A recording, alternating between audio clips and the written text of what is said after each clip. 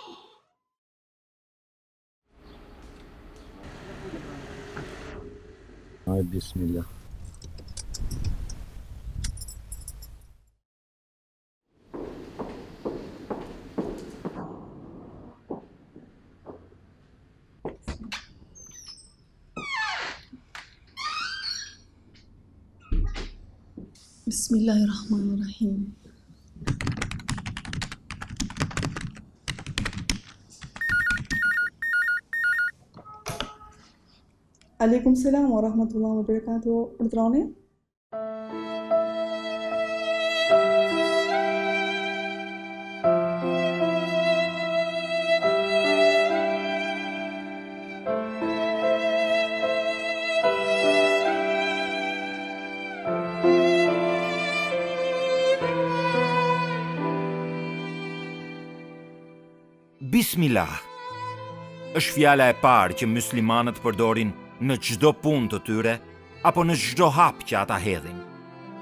Bismillah vjen nga arabishtja dhe do të thotë me emrin e Zotit. Pra, myslimanët çdo veprim e kryejnë me emrin e Zotit të tyre.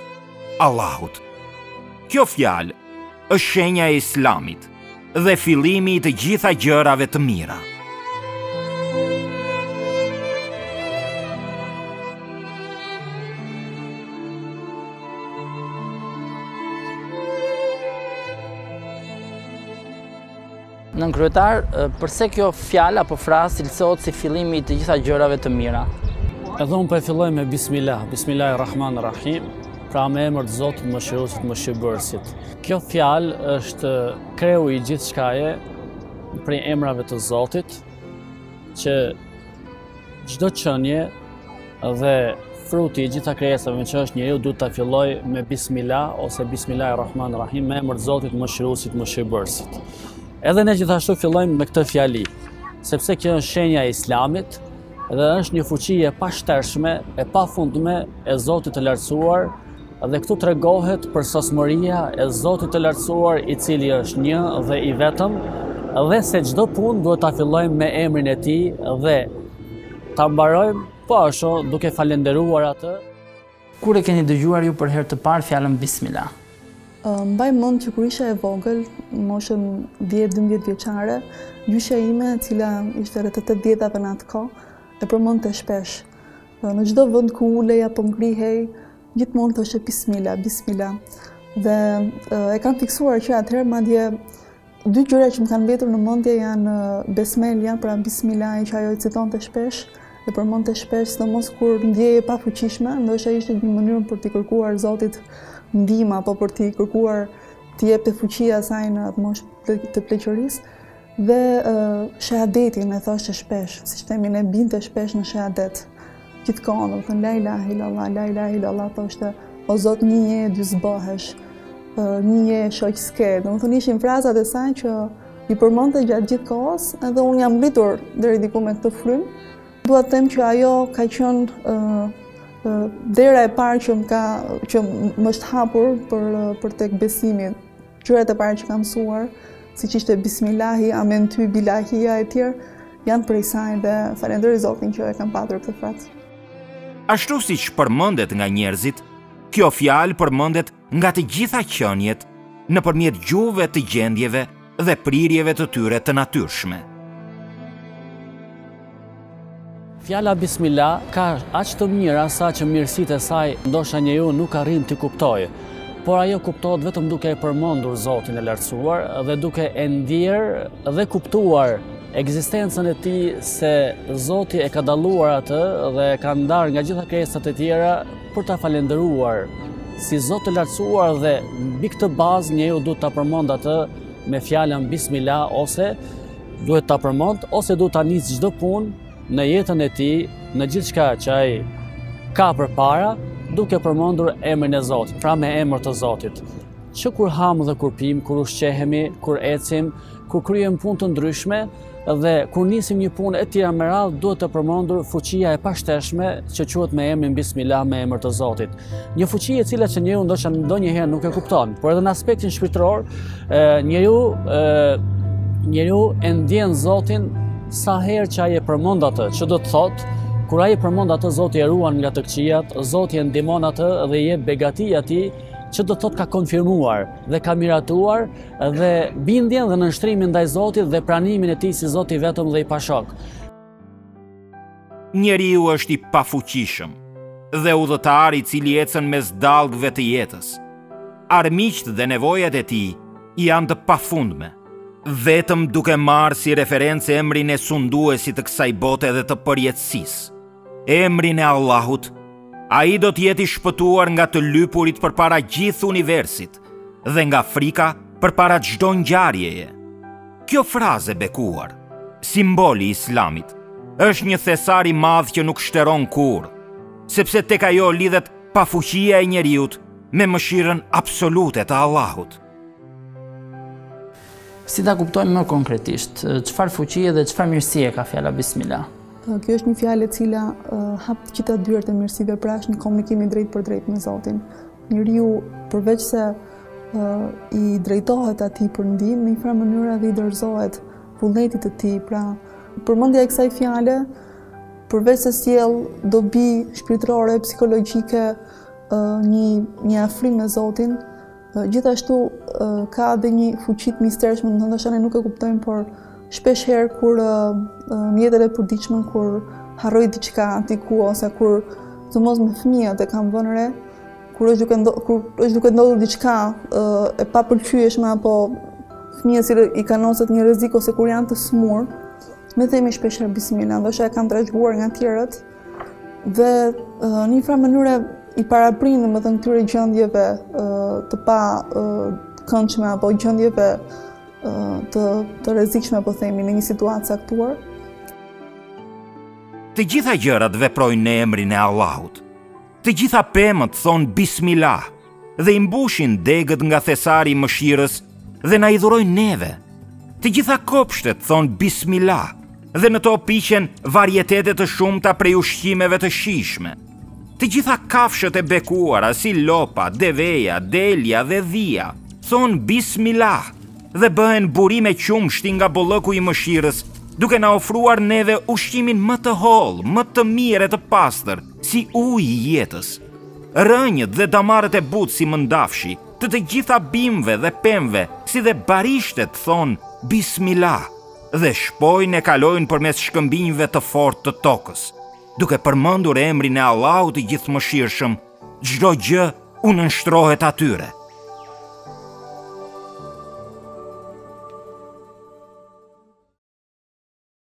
Në ç'mënyrë të gjitha qeniet thonë bismila. Çdo qenie që Zoti ka krijuar, sipas natyrës së krijimit të saj, prirjeve dhe gjuhëve të tyre të ndryshme, e shprehin madhështinë e Zotit duke e përmendur me emrin bismila. Dhe kjo është përmendja e tyre pavarësisht që neve nuk e kuptojmë atë lloj gjendje. Gjitha krijesat që ne shofim dhe nuk shofim, duke nisur nga bimët e ndryshme, nga farat e ndryshme, të gjitha në pëlcitjen e tyre dhe në zhvillimin e tyre edhe pa dalur në faqe të dheut, ata shprehin dhe përmendin Zotin duke thënë Bismillah. Pra me emrin e Zotit, unë zhvillohem, unë tjetërsohem dhe unë rritem dhe në këtë mënyrë gjitha këto krijesa janë në shërbim të njeriut. Prandaj edhe Zoti neve në Kur'an kur na flet në gjëra të ndryshme na thotë që çdo krijesë, pavarësisht që nuk kanë intelekt, e përmendin Zotin e Lartësuar. Për shembull, edhe bubullimat dhe vetëtimat e të tjera me radhë, gjithë ato krisma të mëdha që neve dëgjojmë, e falenderojnë Zotin e Lartësuar. Për shembull,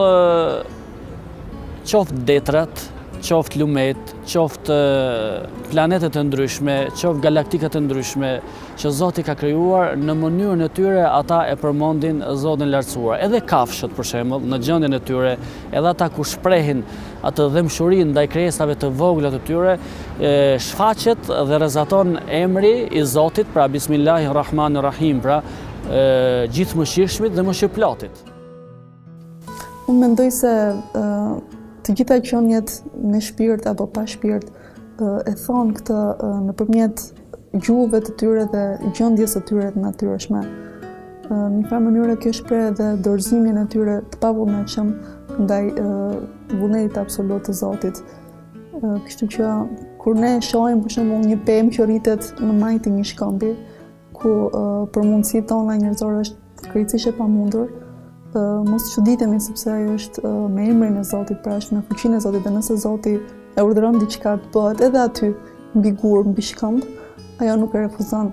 Pra, kjo është në njëfarë mënyre nënshtrimi ndaj fuqisë së Zotit, të cilat sendet në natyrën e tyre dhe qeniet e tjera përveç njeriut e kanë të programuar, pra e kanë të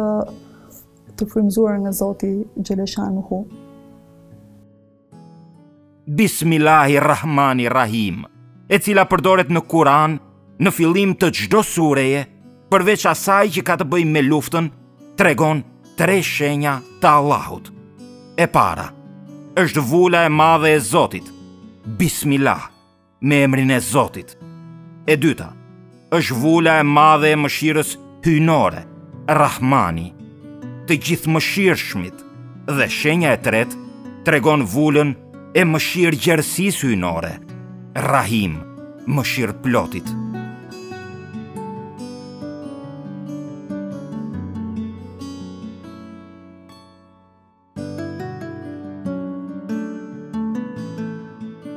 Mëshira hyjnore, pa harruar asnjërën prej tyre, i ngre, i ushqen, i edukon dhe i administron 400.000 llojet e ndryshme të bimëve dhe kafshëve në tokë, pikërisht në kohën e duhur me rregull perfekt.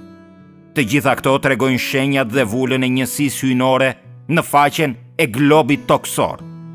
Ashtu si ekzistenca e mëshirës hyjnore që është aq e sigurt sa ekzistenca e krijesave në faqen e tokës, po ashtu krijesat ofrojnë aq shumë dëshmi për realitetin e asaj mëshire sa vetë numri i tyre. Ajo që e bën këtë univers të pafund të gëzohet, është mëshira hyjnore. Ajo që e bën të gjithë universin të kthehet drejt njeriut është pa dyshim mëshira hyjnore. Si mund të arrijë njeriu tek mëshira hyjnore? Si mund ta gjejë dhe si mund t'i afrohet asaj? Kjo është fjala më e bukur, pra është fjala e cila të çon drejtpërdrejt tek mëshira hyjnore dhe tek tek të kërkuarit e mbështetjes së Zotit, është përmendja pra me pak fjalë e Zotit, është përmendja e, e krijuesit absolut, ndaj dhe besoj se ashtu siç Kurani është pranverë për zemrën, pra fjala e Zotit është pranverë për zemrën e njeriut, ashtu edhe përmendja e tij nëpërmjet thënies së bismilahit përpara çdo gjëje apo nëpërmjet dhikrit, tesbihatit, e tjerë është mënyra më e mirë për t'u afruar me Zotin. Përmes përmendjes së Zotit me gojë apo me zemër njeriu ka ka mundësinë t'i afrohet providencës hyjnore, ka mundësi të lidhet më shumë me Allahun Xheleshanuhu dhe ta dojë më shumë atë. Pra, mendoj se fjala se besmelja është çelësi i lidhjes së njeriut me Zotin, është një formë e vënies së kontaktit me Zotin. Pra përmes përmendjes së Zotit, me emrin e Allahut, njeriu në njëfarë mënyre automatikisht i drejtohet atij dhe, dhe e lartëson figurën e tij. Për të arritur mëshirën e Zotit, vjen nga bindja dhe nënshtrimi i njeriut dhe pajtimi me caktimin e Zotit që e ka krijuar atë si njeri dhe përqafimi i fesë e cila është një orientim për të mirën e njeriut. Mbi këtë bazë, njeriu sa më shumë për t'u afruar në raport me Zotin, do të thotë ka arritur edhe mëshirën dhe faljen e Zotit të lartësuar, që është i gjithëmëshirshëm dhe mëshirëplotë, dhe mbi këtë emër është emërtuar, ka emërtuar edhe veten e tij, siç e ka cilësuar ai vetë. Ftoj këdo, me thënë, sidomos ne si besimtarë, Nuk duhet të jemi asnjëherë larg dhikrit, larg përmendjes së Zotit dhe duhet të përpiqemi ta ta përmendim atë me gojë dhe me zemër në çdo situatë, në çdo kohë. Sepse ë uh, ashtu siç Kurani është pranverë për zemrën e njeriut edhe dhikri është ë uh, është gjallëria e gjuhës, pra është është forma më e lartë e e lartësimit dhe e dashurisë ndaj Zotit. Në çdo raport që neve kemi me njerëzit, do të thotë ke fituar edhe mëshirën e Zotit. Në çdo raport tjetër që kemi me familjen tonë e tjera me radhë, kudo që neve mund të mendojmë, të ecim gjithmonë me mbarësi dhe duke thënë që Allahu është i gjithëmëshirshëm, unë të mundohem të fitoj kënaqësinë dhe pëlqimin e tij. Kjo është mbi gjithçka.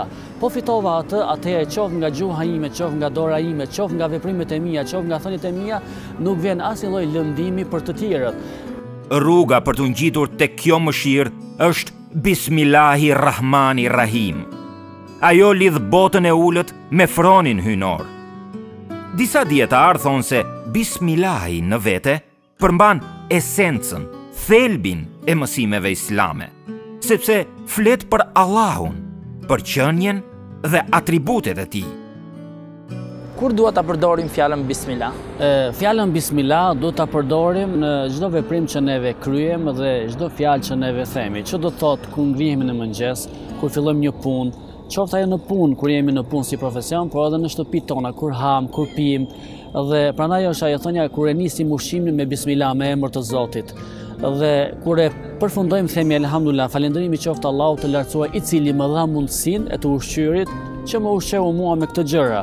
Të marrësh me emër të Zotit, të japësh me emër të Zotit, të meditosh rreth krijesave që Zoti ka krijuar po në emër të Zotit, Kjo është edhe sevap ose shpërblim që futet në në në qesen tënde ose në shkruhet në librin tënd që Zoti kur na merr në llogari do të na nxjerr që ti e ke kujtuar dhe siç thotë edhe Kurani fedhkuruni edhkurkum veshkuru li ve la tekfurun.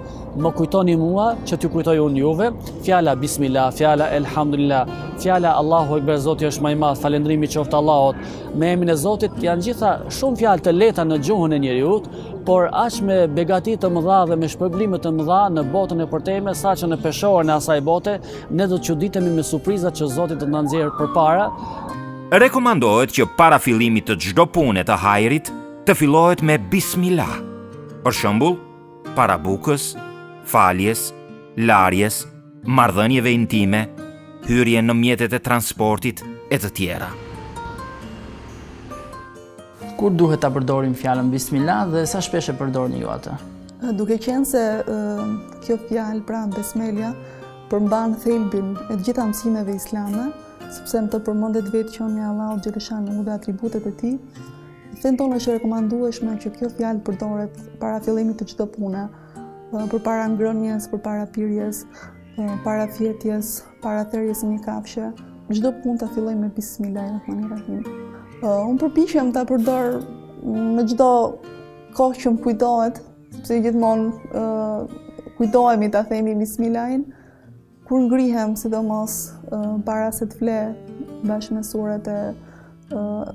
përpara, që thua përpara gjumit. Gjithashtu kur filloj ndonjë punë me rëndësi kryesisht, domethënë kur kur gatuaj, sidomos sepse gatimi është një përgjegjësi më vete dhe kam ndjesinë sikur kur them bismillah, do të shkojë më mbarë, do të shkojë më mirë, nuk nuk do të ketë ndonjë incident gjatë gjatë atij procesi. Përpiqem ta them sa më shpesh, madje tani po përpiqem t'ua mësoj edhe vajzave të mia të vogla, Sidomos përpara ushqimit, për mua domethënë është, është gjynat mos thuash bismilah përpara ngrënies e çdo ushqimit, sepse është dhuratë prej Zotit dhe uh, nuk është nuk është e këndshme pra që njeriu të mos e përmendi emrin e këtij furnitori kaq kaq bujar që është Zoti ynë përpara ushqimit. Përpara punëve të ndryshme që bëj, domethënë, përpiqem ta them sa më shpesh. Sa shpesh e përdorni në ditë fjalën bismillah? Gjithmonë. Sa herë që do marr të gatuj, sa herë që do ulem, sa herë që do ngrihem, për çdo gjë, për çdo gjë, nuk e heq nga mendja kurrë bismillah. Çdo gjë unë e bëj me bismillah. Ngrihem për mëngjes, fal sabahun. Në fakt, për herë pa unë do hap derën e çelësit bismillah. Që hap derën, Pastaj shkoj ke soba me bismillah e hap dhe çelësin e sobës, dhe i gjellën me bismillah, dal nga shpia, pa u që dal, që shkoj për pazar, me bismillah. Çunin e vesh e bëj me bismillah. Çdo gjo, unë çdo gjo, çdo gjo që ngas. Me bismillah. Ju përmendët që kur ushqehemi duhet të themi bismillah. Çfarë përfiton njeriu nga kjo? Duke thënë bismillah gjatë ushqimit. Po, bismillah normalisht përfiton begatinë e ushqimit, rritjen ose begatinë kuptimin shtimin e këtyre gjërave. dhe do të thotë ndalimin dhe pengimin e djallit të mallkuar që mos ushqehet së bashku me ty edhe pse ti nuk e kupton ekzistencën e tij sepse ajo është një ekzistencë tjetër që shqisat tona se syri jo nuk mund ta ndjej, por në anën shpirtërore ajo ai ose të djajtë vijnë dhe ushqehen me ty së bashku me ty nëse nuk e përmend Zotin. Edhe nuk ka bereqet ajo që ti e ushqehesh me të, por kur përmendet Zoti dhe falënderohet ai do të thotë që çdo begati shtohet. Pra do kesh mirësi më të mëdha dhe ba mirësi më të mëdha inshallah taala. Tha që në çdo punë që ju bëni, përdorni fjalën bismillah. Përse e përdor këtë? Çfarë kuptimi ka? Ai është çelësi fesë islame, është si çelësi shpisë, po s'i vune çelësin nuk të hapet dera.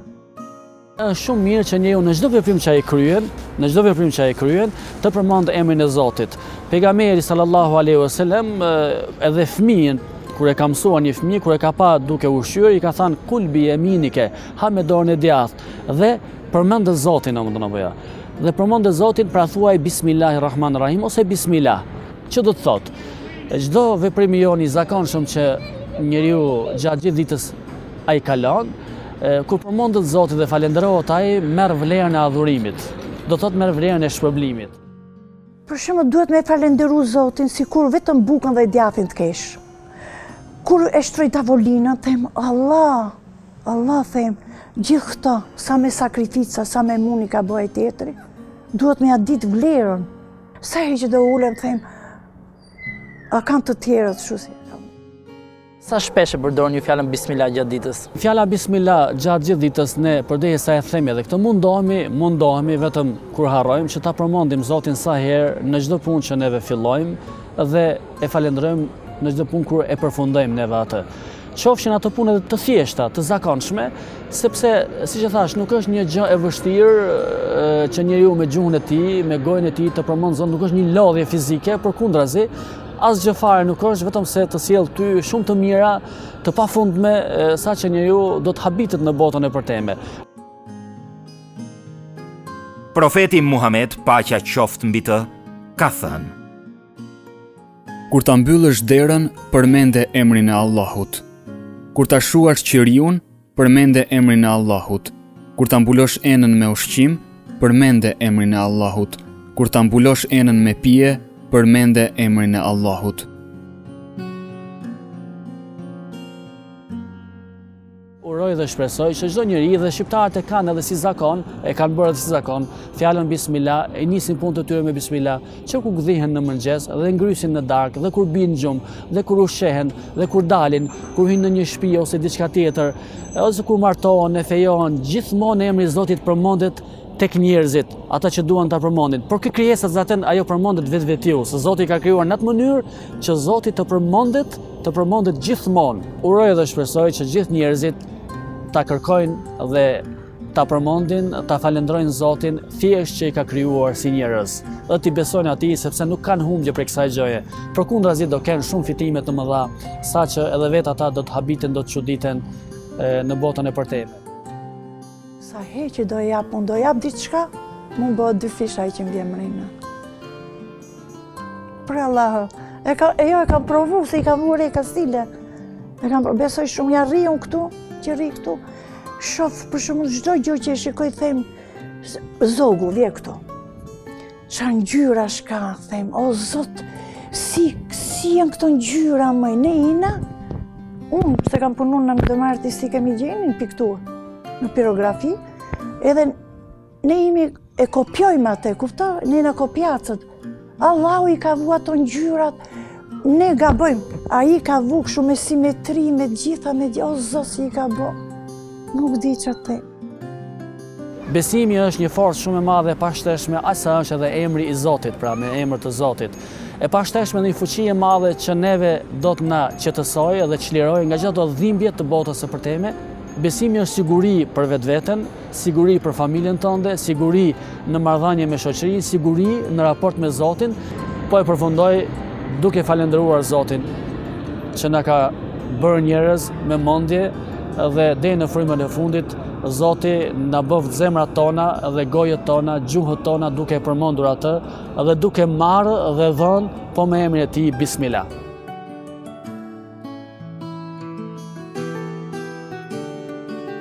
Jep me emrin e Allahut. Merr me emrin e Allahut. Fillo me emrin e Allahut. Puno dhe jeto me emrin e Allahut.